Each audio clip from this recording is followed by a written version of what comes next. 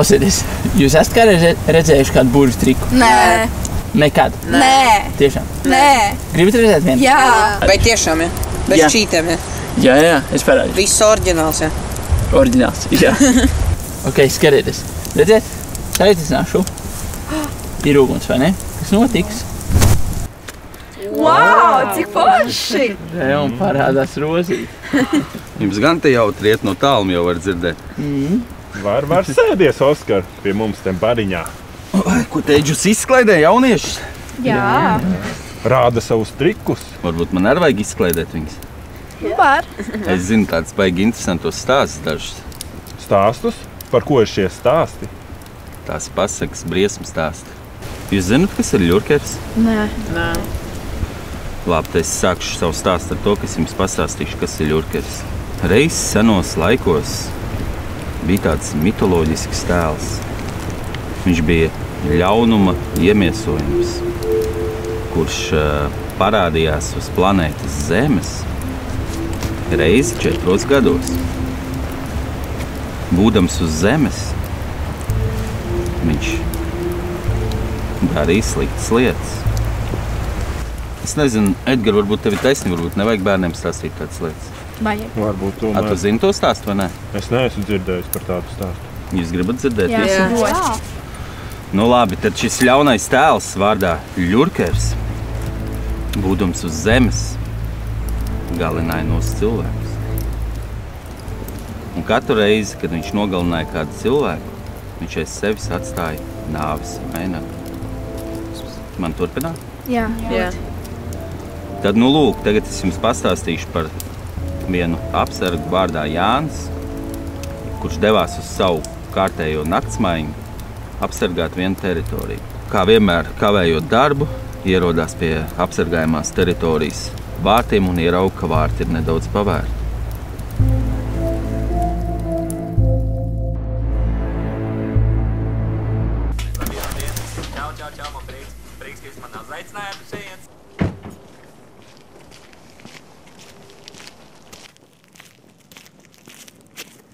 Vārds nav aizteicis. Cik vārds?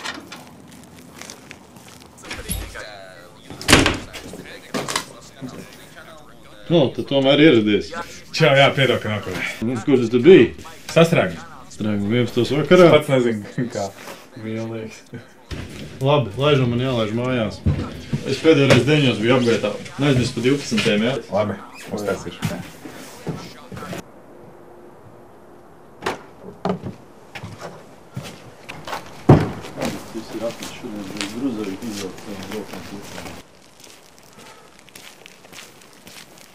Ko tur ir strādā?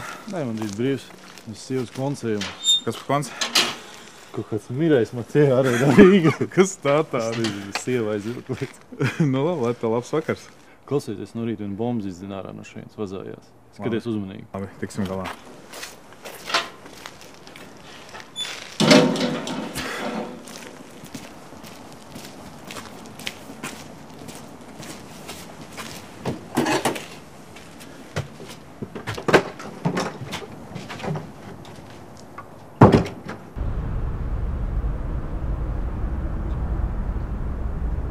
Kad uzzina kanālu, nu, ka par jāspiež zvaniņu YouTube. Jā, Noteikti sākumā ir jāpierakstās kanālam, tad jāspiež zvaniņu, varbūt kaut kādu komentiņu varētu atrast. jā tad, tad mēs sagaidām vienkārši šīs ziņas beigas, tāpēc, ka šovakar mums pārējai.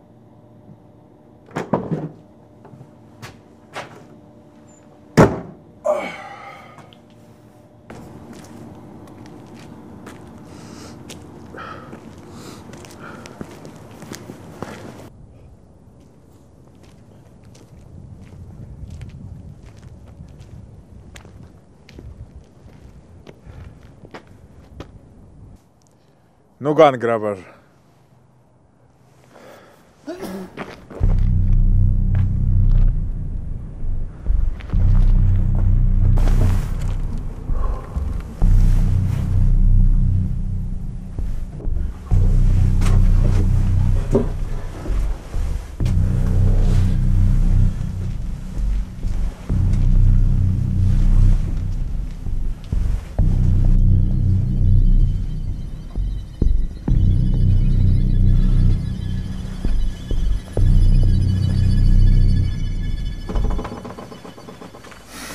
Atkal.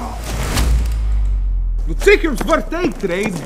Vienu un to pašu, vienu un. Te nav viesnīca. Loja! Lai es tev vairs te neredzētu!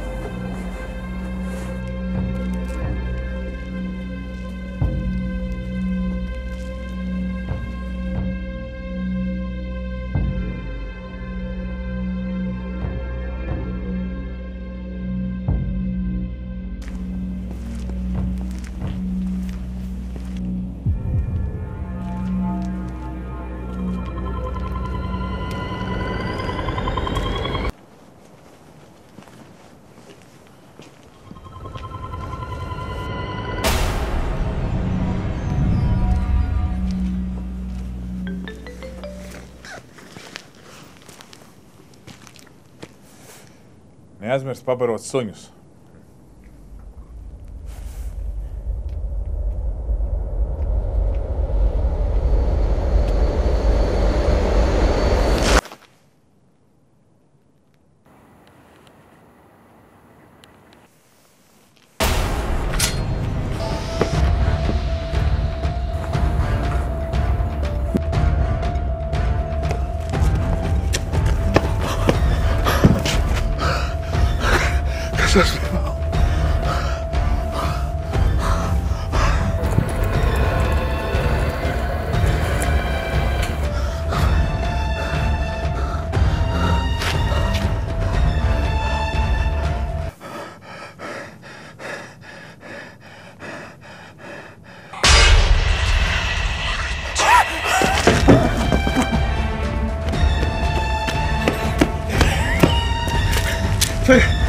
Pagaidzi, vairs nevar.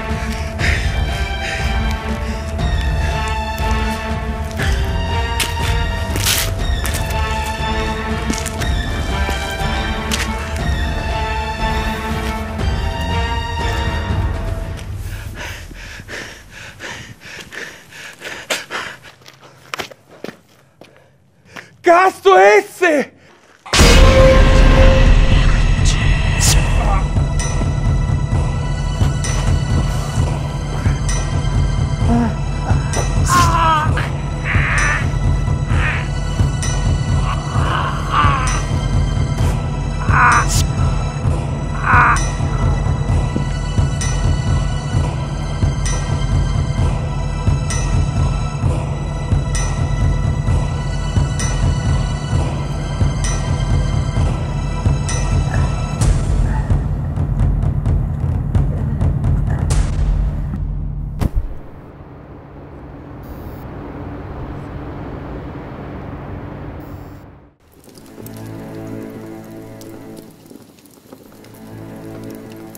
ko sīkie bija bail? Nē, Nebija šausmīgs stāsts. nē. Es jau esmu nogurs, es nevaru. Klau bērni, esat kādreiz palikuši vieni paši mājās? Nē, Nē, Nekad. nē. Es gan esmu. Nu, beidz, taču nebūja atmosfēra. Ļauj izstāstīt stāstu. Klausieties, es jums pastāstīšu par kādu meiteni Poļinu, kura palika viena pati mājās bez vecāku uzraudzības. Iedomājieties, augsts ziemas vakars, liela māja un meitene, kura pilnībā nenojauš, kas tūlīt sekos. Šausmas.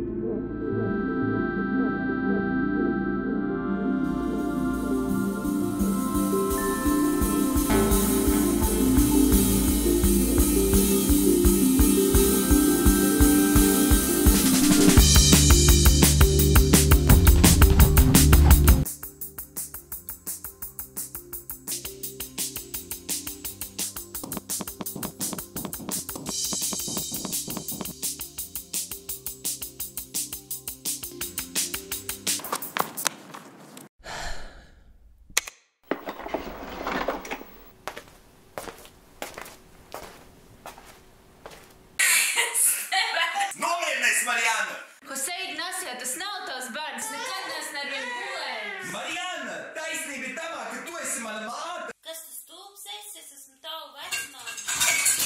Noziedzības līmenis mūsu valstī nav mainījies. Aizpagājušā naktī autokapsētā tika atrasts apsargs eh, Jānis. Mistiskos apstākļos viņš ir zaudējis dzīvību. Policija ir uzsākusi kriminālu lietu un tiek nu, veikta izmeklēšana. Apstākļi nāves nav noskaidroti, cilvēku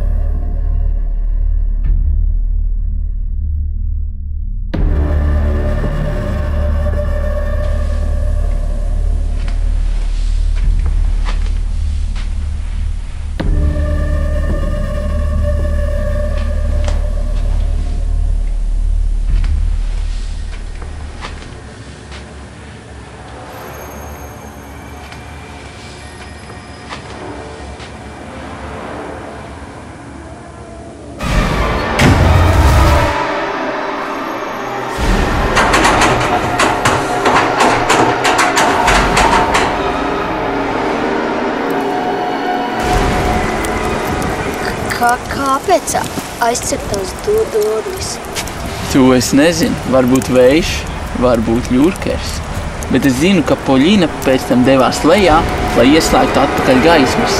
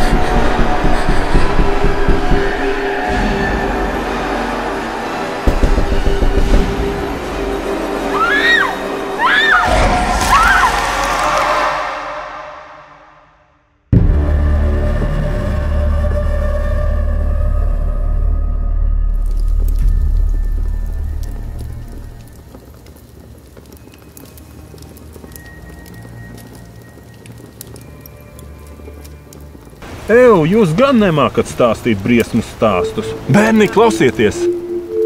Es gan zinu labu briesmu stāstu. Mānēks to, tā man prasēji? Tas bija vasaras sākums. Tikko sācies brīvlaiks. Edgars ar Zani brauca cauri mežam, un pēkšņi viņiem saplīsa mašīna. Kas notika? Riepa pārsprāga. Nē, Benzīns beidzās. nē, kaut kas trakāks. Labi, klausieties mani uzmanīgi.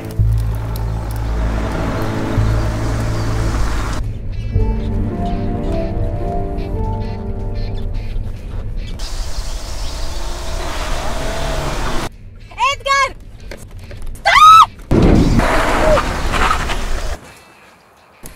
Kas tas bija? Paliec mašīnā.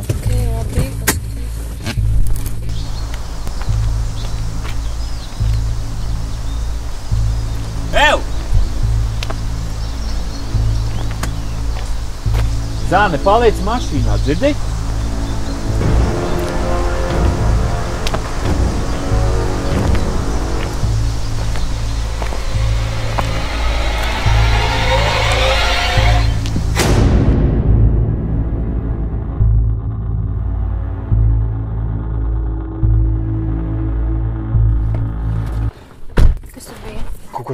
Slimais vēl.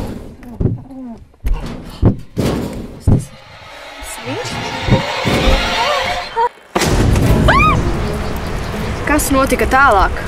Zāne izleca pa durvīm ārā, bet Edgara kāja aizķērās aiz drošības jostas.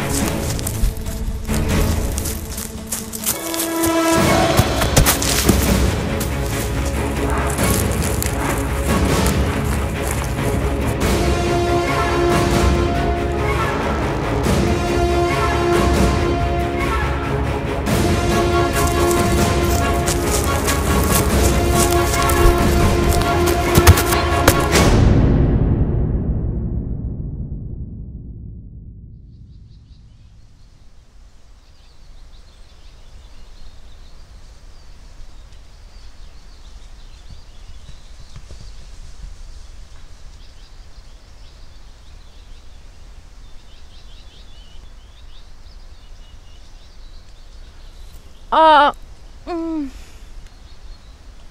哦。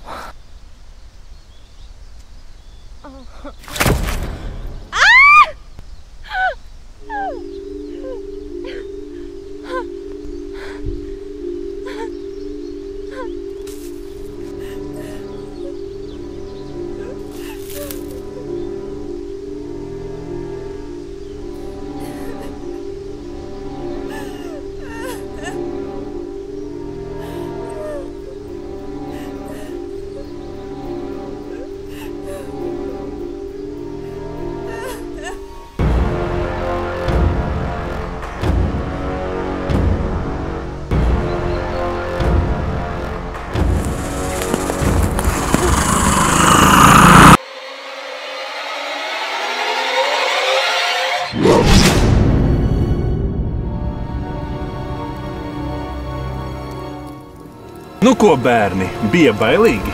Jā, bija visbailīgākais. Jā, man ar tavu stāstu likās reāli visbailīgākais. Bija, bija. Pats, ko es atradu? Kas tas ir? Nezinu. Tas ir tā kā no stāsta. Vai tas gadījumā nav viņš?